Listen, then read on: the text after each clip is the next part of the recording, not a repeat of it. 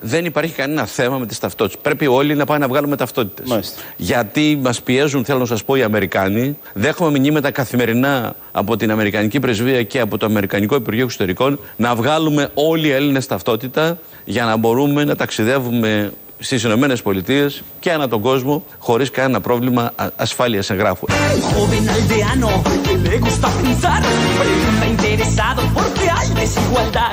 γιατί μας πιέζουν, θέλω να σας πω, οι Αμερικάνοι.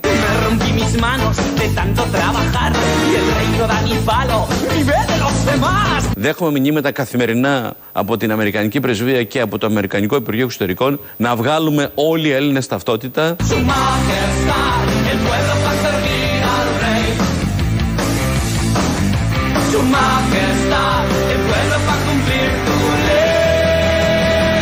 Για να μπορούμε να ταξιδεύουμε στις Ηνωμένες Πολιτείες και ανά τον κόσμο χωρίς κανένα πρόβλημα ασφάλειας εγγράφου.